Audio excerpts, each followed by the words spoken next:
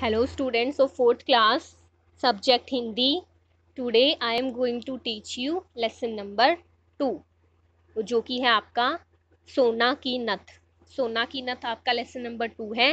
जिसकी स्टोरी मैं आपको बता दूँगी अभी, और इस लेसन की सेल्फ रीडिंग आप लोगों ने करनी है।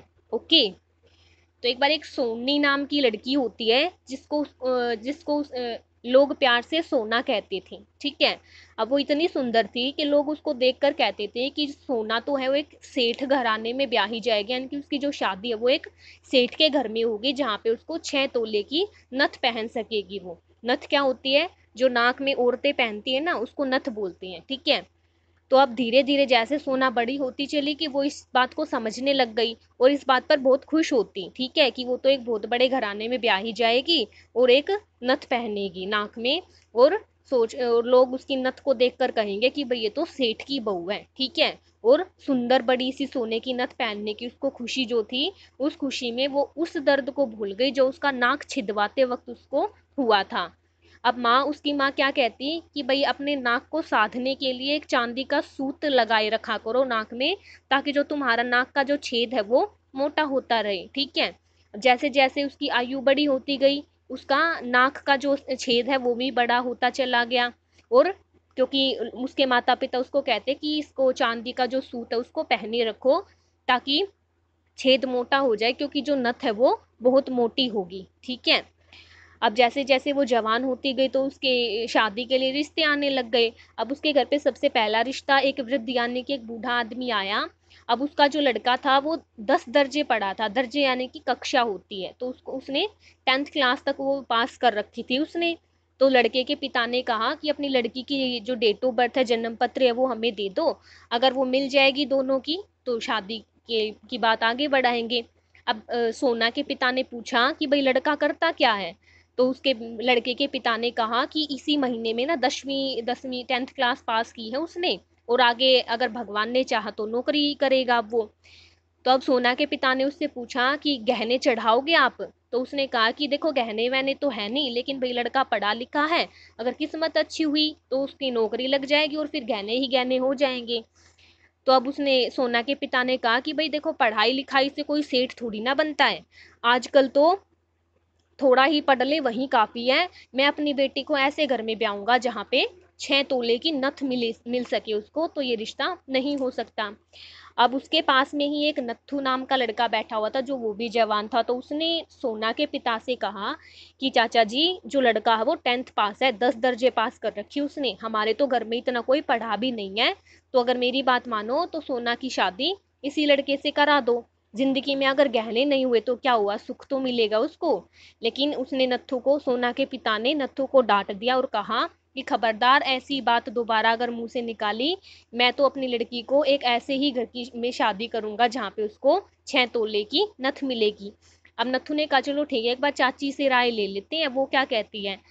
अब जब नत्थू ने सारी बातें अपनी चाची को बताई, यानी कि सोना की माँ को बताई तो उसने कहा कि भैया, लड़का पढ़ा लिखा है तो अपने लिए पढ़ा लिखा होगा, सोना को थोड़ी ना कुछ मिलेगा। अब ना तो सोना किसी कुर्सी पे बैठेगी, ना जगह जगह जाके घूमेगी तो फ़ायदा क्या लड़के के पढ़े लिखेगा? अगर किसी अनपढ़ के घर जाएगी, चलो कोई बात नहीं, घास काट लेगी, गोबर ढोलेगी, कम से कम उसको नथ तो मिल जाएगी, यानी कि सोना पहनने को तो मिलेगा। उसने भी मना कर दिया शादी के लिए, इस रिश्ते के लिए। अब नथु ने कहा कि चलो एक बार सोना से और पूछ लेते हैं। तो सोना ने भी क्या जवाब दिया कि मैं कोई बिना माँ बाप की छोकरी थोड़ी ना हूँ, कि बिना माँ बाप की लड़की थोड़ी ना हूँ, कि कहीं पे भी मेरे ही शादी कर देंगे। उसने भी मना कर दिया। अब उसके बाद बहुत अच्छे अच्छे सुंदर सुंदर पढ़े लिखे लड़कों के रिश्ते आए उसके घर पे, लेकिन सारे रिश्ते उन्होंने ठुकरा दिए। क्योंकि उनको क्या चाहिए था? छः तोले की नथ वाला रिश्ता चाहिए था, जहाँ से लड़की को सोने की छः तोले की नथ मिल सके। इस बात पर उसके सोना के पिता भी, सोना की माँ और सोना सारे ही इसी बात पे अटल थे। लास्ट में एक ऐसा रिश्ता आ गया, जो एक ठेकेदार का लड़का था, अनपढ़ था, बिल्कुल कोई पढ़ा लिखा नहीं था वो। वहाँ पे सोना का रिश्ता तय हो गया और शादी हो गई।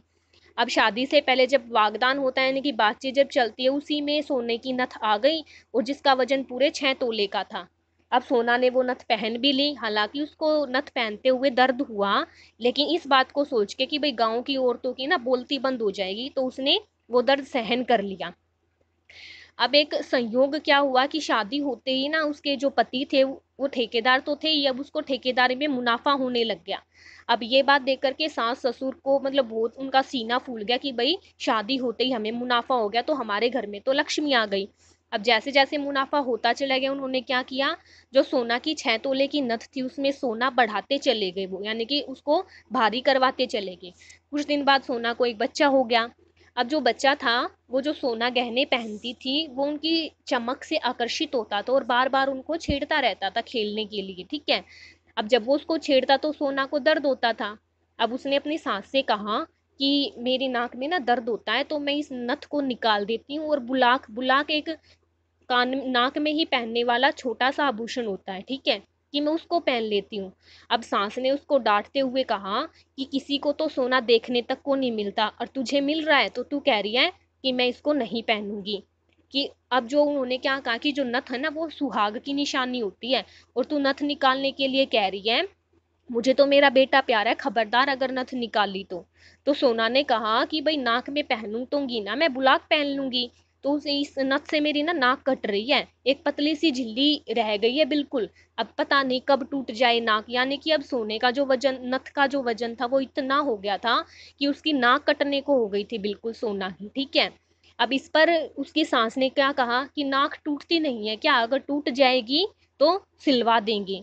अब मुनाफा होता गया। उनके जो ससुराल वाले थे, वो नथ में सोना जुड़वाते चले गए और नथ, जो नथ का वज़न बढ़ता चला गया। अब जो नथ का वज़न था, वो दस तोले का हो चुका था।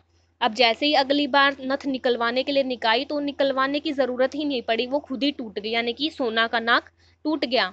तो इस, यह क्या सोना का नाक टूट गया? तो उसने कहा, उसके ससुर ने कहा कि नाक सिलवा दो और नथ में नथ को ले जा करके सुनार के पास और इसमें एक तोला सोना और बढ़वा दो।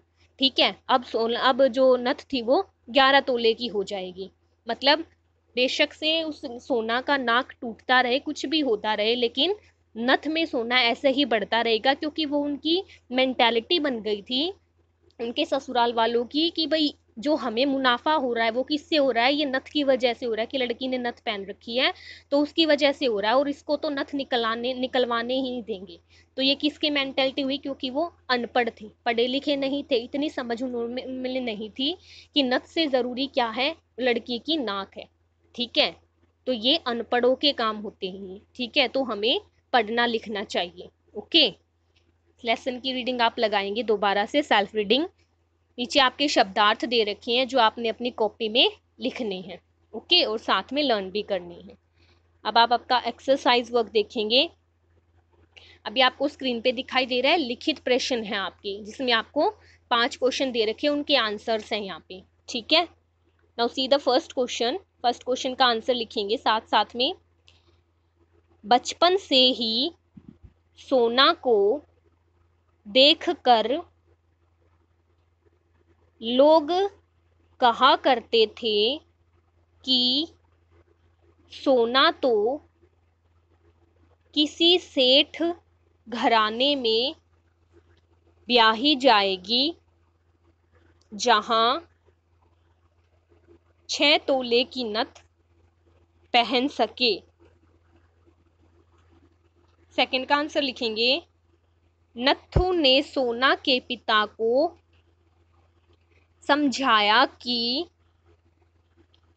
अगर सोना की शादी पढ़े लिखे लड़के से करेंगे तो उसे सुख मिलेगा। ज़िंदगी में सोना ज़रूरी नहीं, सुख ज़रूरी होता है। थर्ड का आंसर लिखेंगे, सोना नथ को इसीलिए उतारना चाहती थी क्योंकि अब उसका वज़न काफ़ी बढ़ गया था और वह नाक में दर्द करती थी। फोर्थ का आंसर लिखेंगे, सांस ने सोना को डांट कर कहा कि किसी को तो सोना देखने को भी नहीं मिलता। और तू कहती है कि मैं नहीं पहनूँगी। फोर्थ का आंसर लिखेंगे, सोना की नाक, नथ का वज़न बढ़ने के कारण टूटी। ओके। नेक्स्ट आपको स्क्रीन पे अभी दिखाई दे रहा है बहुविकल्पीय प्रश्न और किसने किससे कहा? इनकी आंसर है, ठीक है? तो बहुविकल्पीय प्रश्न के आंसर आप देखेंगे। फ़र्स्ट में आएगा वन सेकंड के आंसर में आएगा थ्री थर्ड में आएगा टू फोर्थ में आएगा वन ओके नेक्स्ट क्वेश्चन है आपका, किसने किस से कहा? तो फ़र्स्ट में लिखेंगे, एक वृद्ध ने कोमा लगा के सोना के पिताजी से कहा। नेक्स्ट में लिखेंगे नथु ने सोना के पिताजी से कहा। थर्ड में लिखेंगे, सोना ने नथु से कहा। फोर्थ में लिखेंगे, सोना की सास ने सोना से कहा।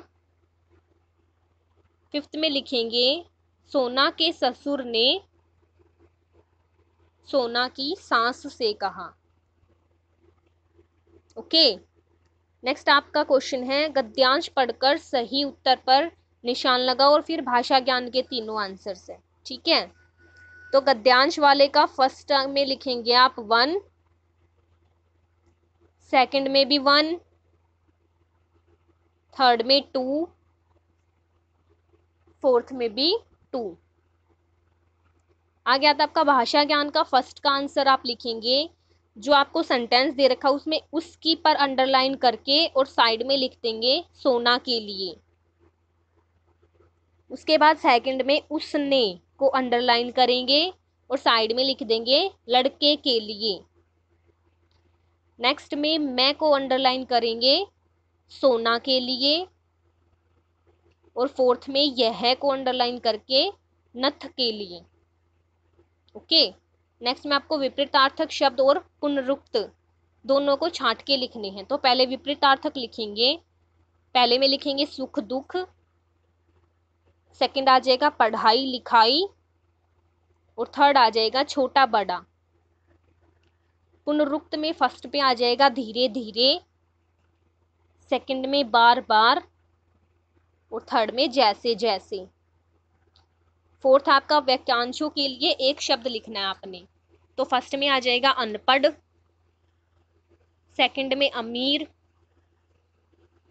थर्ड में असहनीय। फोर्थ में सुनार, फिफ्थ में अनाथ और सिक्स में अटल। ओके? ये सारा एक्सरसाइज वर्क जो अभ्यास कार्य है, आपने बुक में करने के साथ साथ नोटबुक में भी करना है और उसको लर्न भी करेंगे साथ में। ओके?